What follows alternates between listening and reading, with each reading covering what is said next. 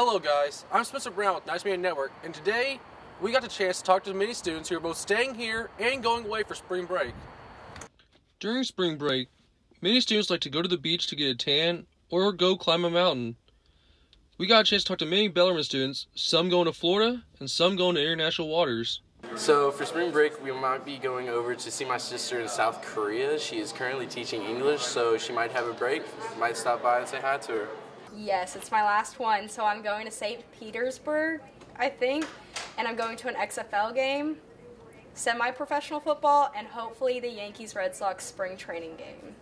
Of course, some students are just going to stay home for spring break this year.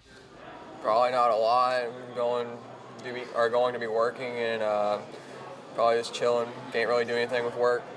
For spring break, I'm going to stay in town. I don't really have any plans. I was just going to hang out with family and friends and possibly go up to Lexington to see my friends at UAK. Not a whole lot. I mean, I, it, my birthday's in spring break this year, so turning 21, I'm going to party it up. But other than that, I think I'm going to sleep a lot.